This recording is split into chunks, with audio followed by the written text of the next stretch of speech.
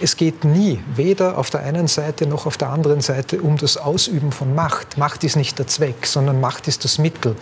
Äh, und wofür? Um Menschen zu helfen, um Menschen zu unterstützen, die sich auf den Politiker verlassen. Aber trotzdem interessiert mich, eh anknüpfend an das, ähm, wann Sie sich am mächtigsten gefühlt haben. Als Mann im Hintergrund, eben mit dem Druck, den Sie gerade beschrieben haben, als Innenminister oder vielleicht jetzt mit dem Blick voraus in all das, was wir noch besprechen, was noch auf Sie zukommt?